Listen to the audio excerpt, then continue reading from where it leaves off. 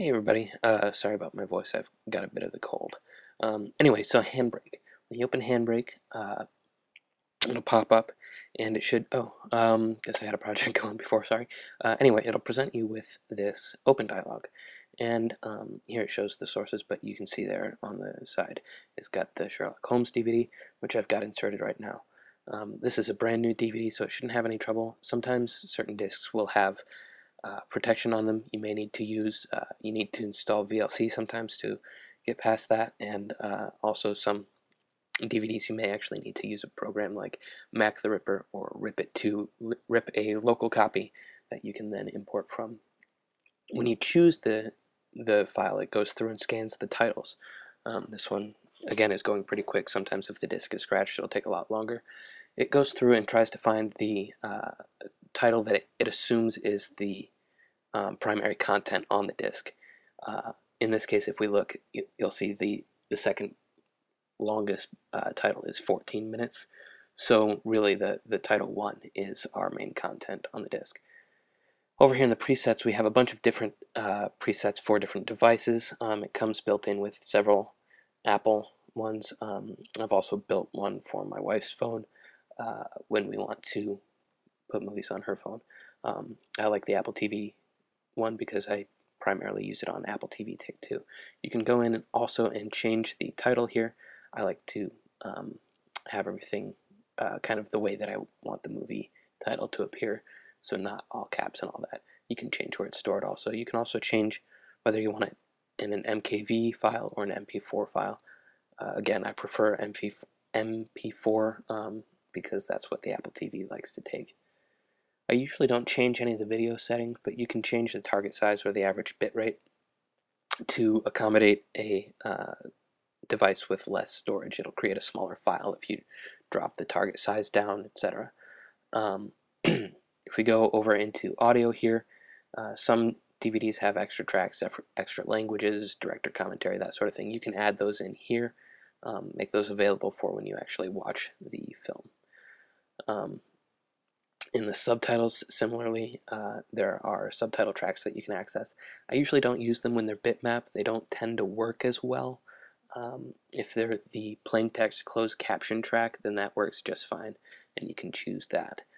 Um, if you do choose that, and it's usually at the bottom too, if you do cho choose that, make sure that you check forced only.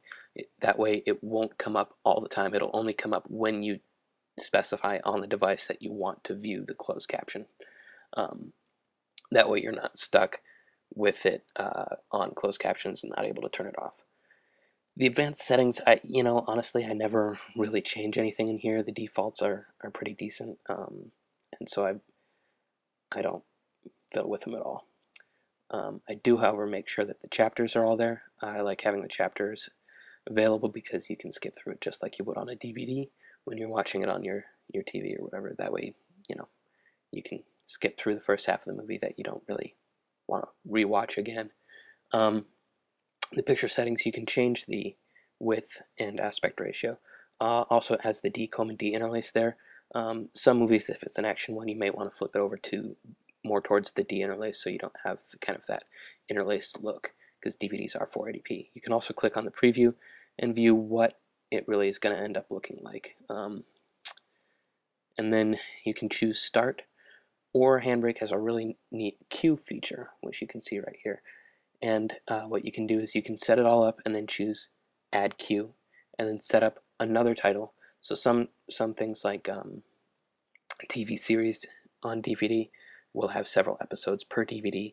Each episode is its own title, so you can add the individual titles to the queue, and they would show up just like this with multiple ones. And then once uh, you have those all done, if you wanted to do a multi-title DVD, um, then you can just click Start or uh, Command S, and um, I think it's Control S on Windows, and it'll just start uh, ripping, or not ripping, but creating a, a MP4 file um, from the DVD.